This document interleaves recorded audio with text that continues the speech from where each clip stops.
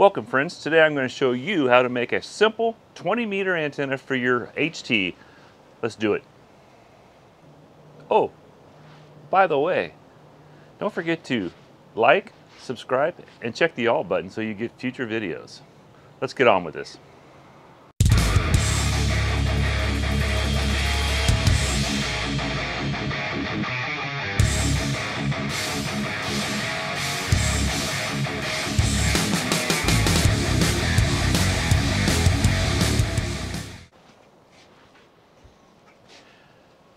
Right, so the other day I was talking to my buddy Javi, K6TNT, and he was running some ideas past me that he had for an antenna for his HT.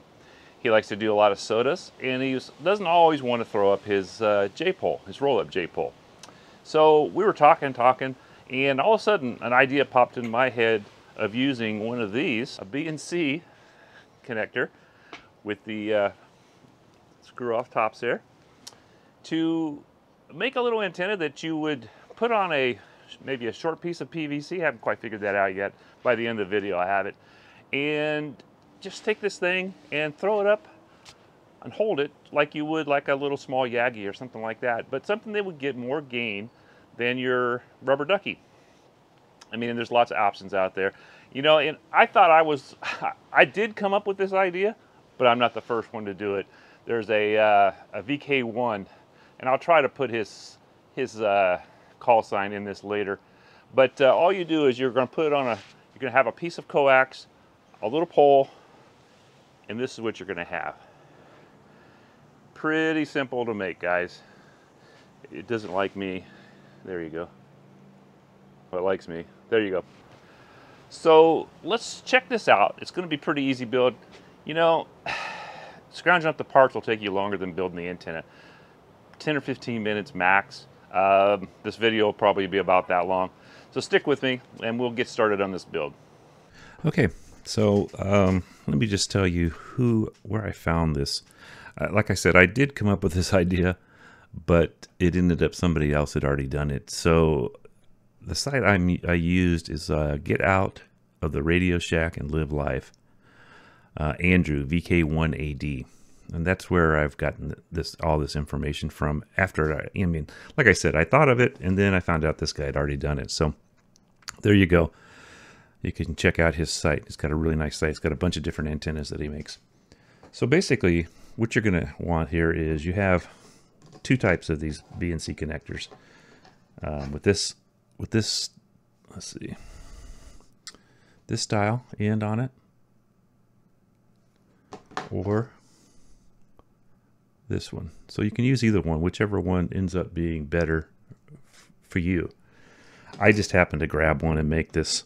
Um, so all you're really going to do is you're going to take a piece. What I what I took was a piece of uh, house wire, 14 gauge, and I'm going to do a video on a how to how to straighten it.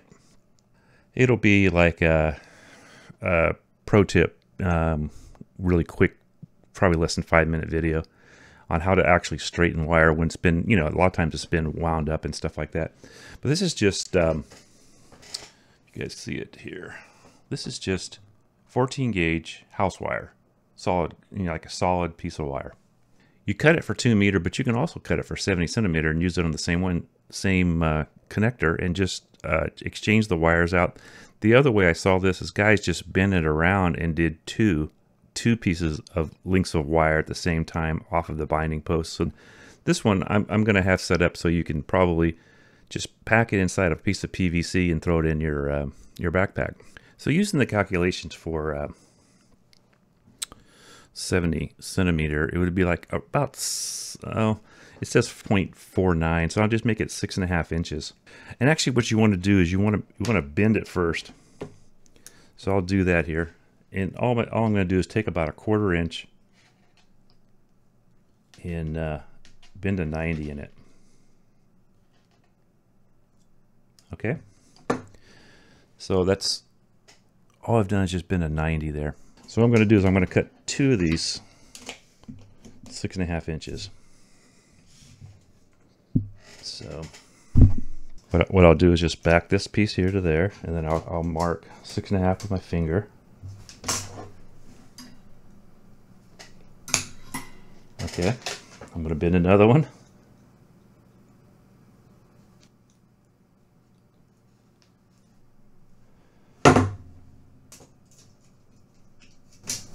I'm going to mark six and, a half, six and a half inches again and cut it.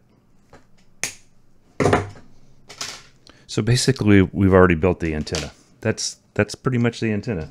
Add this. Now, I will say that I did have to drill the holes.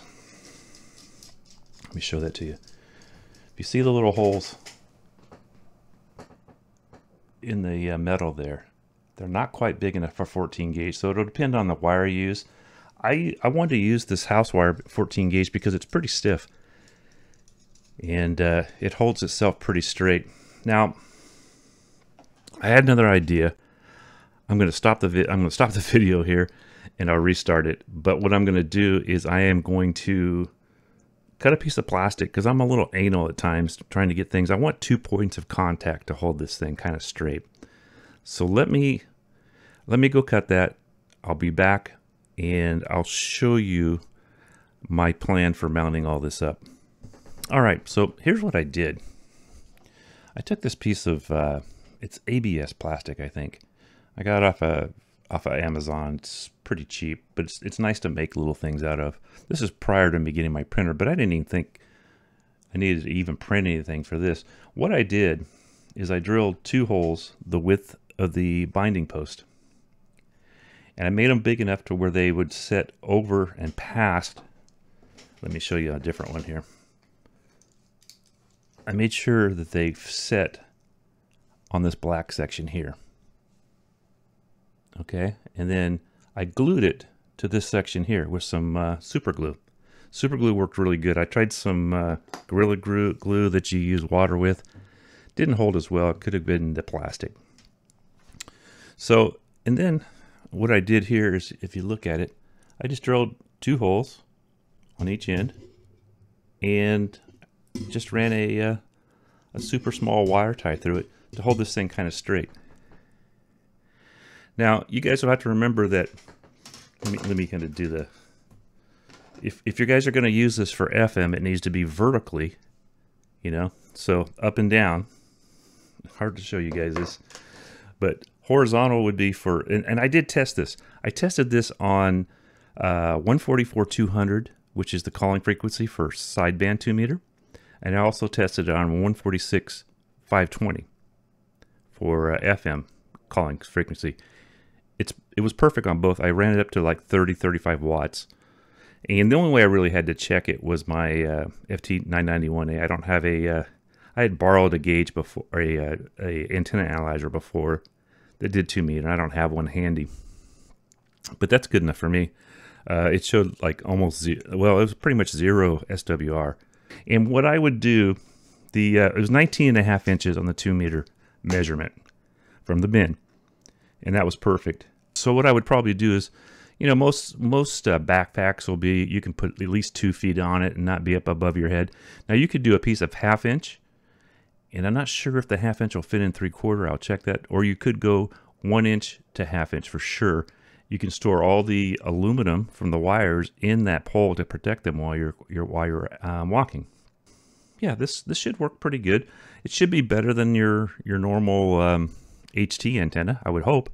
Okay, guys. Um, so I, my supply of PVC right now is really bad. I've done some PVC work in the back, some sprinkler work and stuff, so I don't have much. But what, what really uh, a piece of half inch, two feet long, a cap on each end. You can store all these pieces here. But let me show you what I did. Now, the piece of plastic up here, you guys, if you look at this, I put a small piece of, uh, or a small wire tie around it right here through the two holes that go through there. And then I just taped the BNC connector um, where the coax goes and the coax to this pole. And you can just take this thing now and uh, I can't really show you too much. I'm trying to do it against my house so you can see it so there's nothing in the background. But you just lift it up as high as you can and that's going to be most likely going to be better than your HT uh, rubber ducky that your radio has that it came with stock you know so hopefully this is helpful for you guys uh, now remember this would be for sideband now when you do it for FM, you got to turn it sideways vertical. Now, also try to get your coax so it comes out as far as at least the two feet, hold it there. And then when you hold it out, you know, so that, that should work pretty good. But I do know it works. I hooked it to my 991A. The SWR was nothing at 30 watts. So, and most people are going to use this for an HT. They're not, if you're going to bring out your, uh, your 100 watt radio or that does 50 watts, uh, like my 991 does on 2 meter, I'd I'd bring my Yagi instead. But uh, hey, it's another another tool, super easy, super cheap. I mean, I don't think you can get any cheaper than that. You should have everything. Most most hams would have everything at their house already, except maybe the BNC binding post connector. Okay, that's all I got to say about it. Okay, that wasn't everything. the other thing is, all you have to do is take these two out and you remember the 70 centimeter ones I cut in and put them in. Or like I said, you can take them and bend them around and cut them. You know, I'd bend them, I make them long and then measure from here to the out T 19 and a half, and I think it was six and a half for the 70. And then you have both, and you don't have to change it. But the nice thing about this setup, everything should fit in the uh, half inch tube, the PVC tube. Okay, that now it's really the end. Well, except for the end pretty easy build, huh? I told you guys it would be easy. And uh, most of the stuff, a lot of you have probably already have this stuff laying around. I will, in the comment section, comment? No, in the description section down below, I will put all the parts that I used. Basically, it's the, the this connector and some wire. And I, I did have a little piece of plastic. You can use anything like wood. I tried to use a popsicle stick. The popsicle stick's not wide enough uh, for the size holes that I drilled. But uh, Hey, if you did like this, and if you're new here, don't forget to subscribe, hit that all button, and uh, that way you'll get all my future videos. And also, go ahead and hit that like button, you'll like it. This is Chuck, KK6USY for Ham Radio Adventures. Thanks for joining me and spending your time. 73's all. Hope to see you on the airwaves.